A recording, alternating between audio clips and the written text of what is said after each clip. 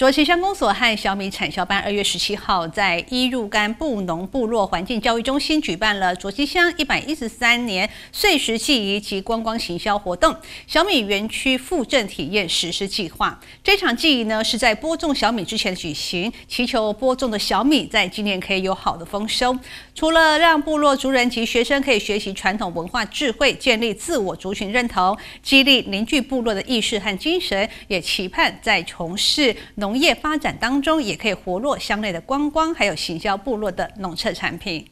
小朋友跟着前面的小米班农民一起学习怎么用锄头翻土，认真的听讲解。这是卓西乡公所办理的碎石记忆暨观光行销活动。小米开垦记虽然不是很容易学会，但是每一位学生都表示很喜欢体验。感觉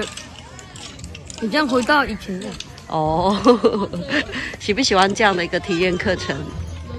喜欢了。乡长说，过去的小米系列记忆举办的地点都会是在部落。不过，现在花莲南区唯一认证的环境教育中心就是在伊鲁港。田桂花希望能够多加利用这个场域，让孩子们透过这样的一个场域，呃，认识我们布农族